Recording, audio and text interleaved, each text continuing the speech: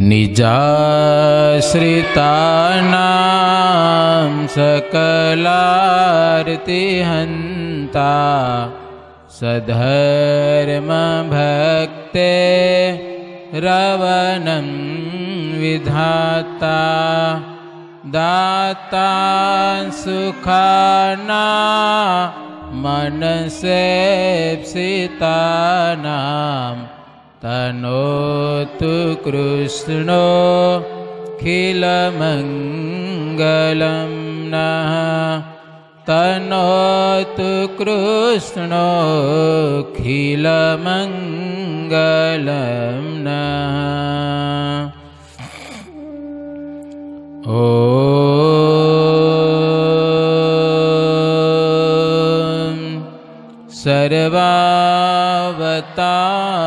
सर्वावतारिणे श्रीहरिकृष्णाय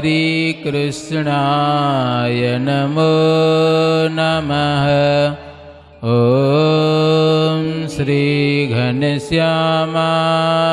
नमो नमः ॐ श्री स्वामिनारायणाय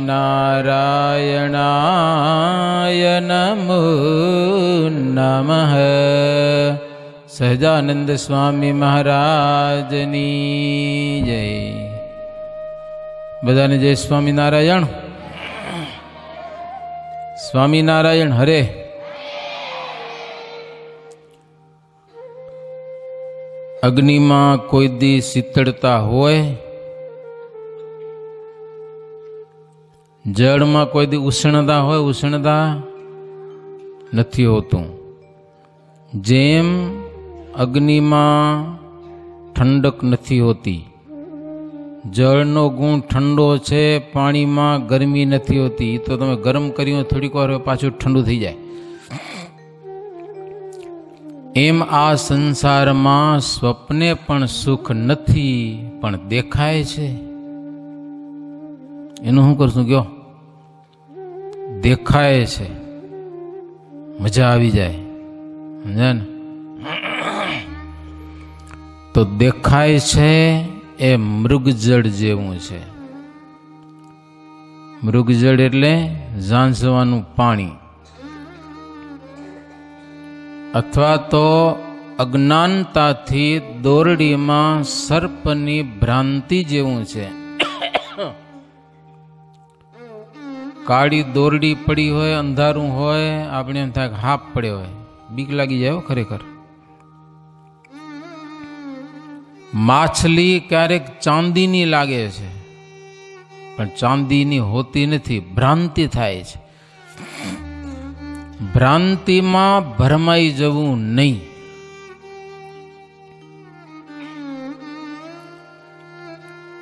કોઈ એક મુસાફર રણભૂમિમાં અડધે રસ્તે આવતા માર્ગમાં ખૂબ તડકો તપી ગયેલો, તરસ્યો થયેલો વિચાર થયો કે હવે શું કરવું? પાણી વિના મરી જઈશ. ગામ ત્રણ ગાઉ છેટું પાછળ રહી ગયું. હજી આગળ ત્રણ ગાઉ છેટું છે. પાણી છે નહીં, શું કરવું? આજે અમે રણમાંથી આવ્યા હો. અમદાવાદથી આવ્યા ને, તો રણમાંથી શક્તિધામ અને પછી વચરાજ દાદા, ત્યાં થઈને રણમાંથી કાંઈ પાણી ન જડે રસ્તામાં.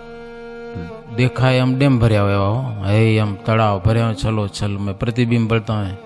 દૂર દૂર ના પણ જેમ હાલે જાઓ ને એમ એ ફરું ફરું હાલી જાય. માણસે વિચાર કર્યો કે હવે મારું શું થશે?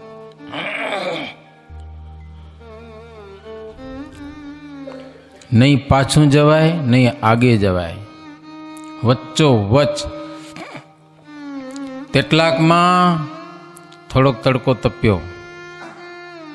અને જ્યાં આમ નજર કરે છે ને ત્યાં છલકાતા સરોવર દેખાય છે. ઓહો, મલકાણો. વાહ વાહ, પાણી આવી ગયું બાજુમાં જ કહેવા તરસે બહુ થયો હતો દોડ્યો, રડતો ને આખડતો. હમણાં પહોંચી જાઉં.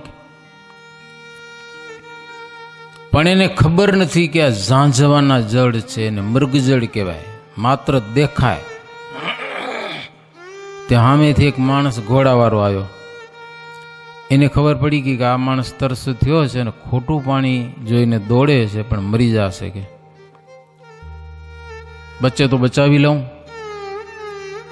ઘોડાવાળો બાજુમાં આવ્યો. કેમ ભાઈ? આટલા બધા મલકાઓ છો? તો કે કેમ ન મલકાવું આ તરસ લાગી છે? પાણી પીવું છે, બે ખેતરવાર પાણી છેટે દેખાય છે. હમણાં પહોંચી જાઉં. પેલો ઘોડાવાળો કે, ભૈયા, મારી વાત માન એ પાણી નથી. એ ઝાંઝવાનું પાણી છે, હાવ ખોટું પાણી. પેલો કે, પણ દેખાય છે એનું શું? તો કે તો દેખાય. હાવ ખોટું.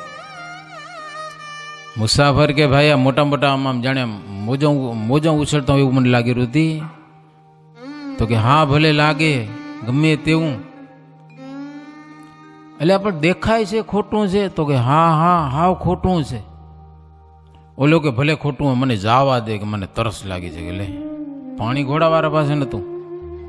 નકો તો પાઈ દીધું તેને.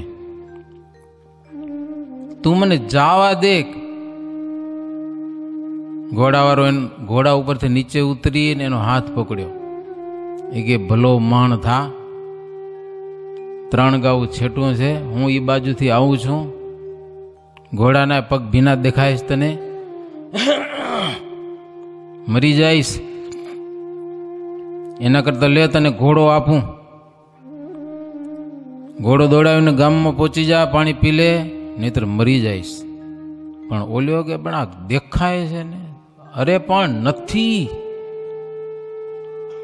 માથાકૂટ છોડ. મરી જઈશ. ઓલીઓનો હાથ પકડ્યો હો. મુસાફરનો ઘોડાવાળાએ. એલા ચડી જા, માથે ઘડી ચડી જાય તો નારે ના મારે ઘોડામાં નથી ચડવું કે મને જાવા દે ઓલે જાવા નથી દેતો. એને ખબર કે આ બિચારો મરી જશે, જાનથી જશે. તો બટકું ભરી લીધું, હાથમાં ડાચું ભરાઈ લીધું, એટલે લોહી કાઢ નાખ્યું.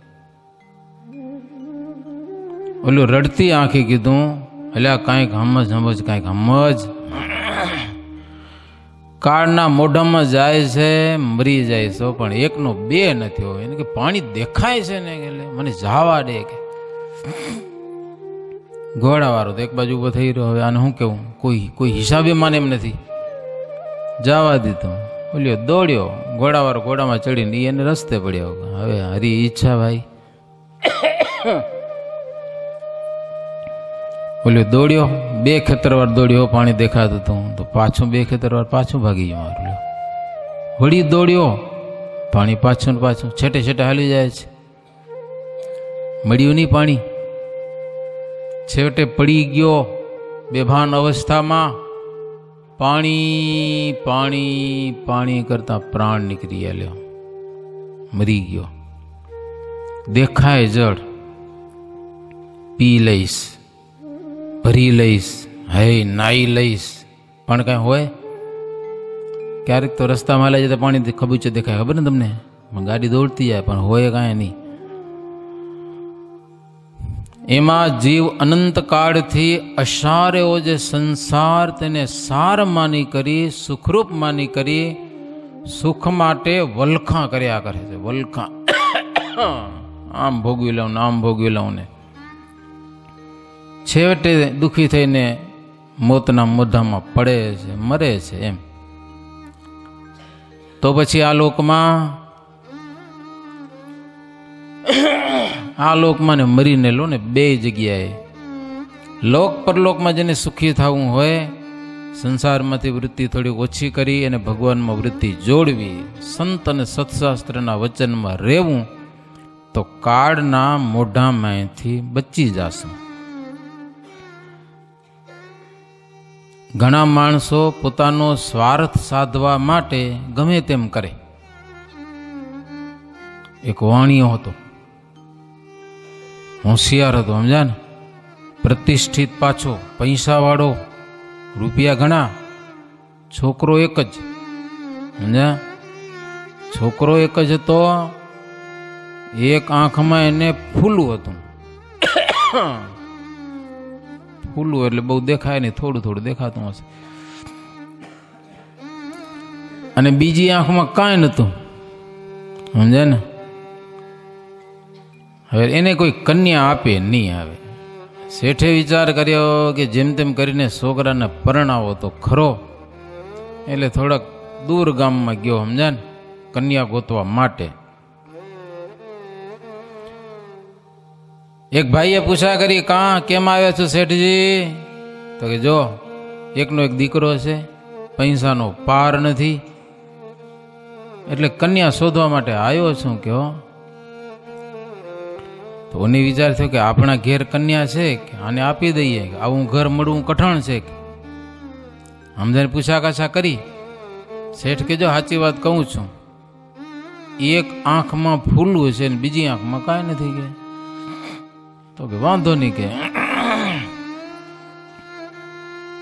પછી હગાઈ બગાઈ બધું થઈ ગયું. પછી જાન લઈને આયા. લગ્ન કરતી વખતે ખબર પડી કે આ તો એક આંખમાં ફૂલું છે ને બીજી આંખમાં નજર નથી. એટલે પૂછ્યું, શેઠ ને શેઠ, આ તો તમે ખોટું કર્યું કે લ્યો? તમારા વિશ્વાસે મેં આ હક પણ કર્યું, પણ છોકરો તમારો કાંઈ દેખતો નથી કે. તો મેં કાંઈ ખોટું નથી કીધું મેં તમને સાચું કીધું તું. એક આંખમાં ફૂલું છે અને બીજી આંખમાં કાંઈ નથી. બોલ્યો કે કાંઈ નથી એટલે મને એમ કે કોઈ જાતનો દોષ નથી, બરોબર છે આંખ. એ શેઠ કે, તમે જેમ સમજો એમ. હકીકતમાં અર્થ એવો હતો કે એક આંખમાં ફૂલું છે અને બીજી આંખમાં કાંઈ નથી એટલે નજરે નથી એમ. પણ આ શેઠ કાંઈ સમજ્યો નહીં. બોલ્યા કે હવે જવા દો, જે થયું તે ખરું, બીજું શું? હવે લગ્ન થઈ ગયા, હવે તો કાંઈ તોડાય નહીં. મતલબ આ વાણીઓ પોતાને છોકરાને પરણાવવા માટે પોતાનો સ્વાર્થ સાધવા પ્રપંચ કર્યો એમ. થોડોક પ્રપંચ કર્યો, કામ થઈ ગયો, અને સંસારમાં આવું ક્યારે કરવું પડતું હોય, સમજા કે નહીં?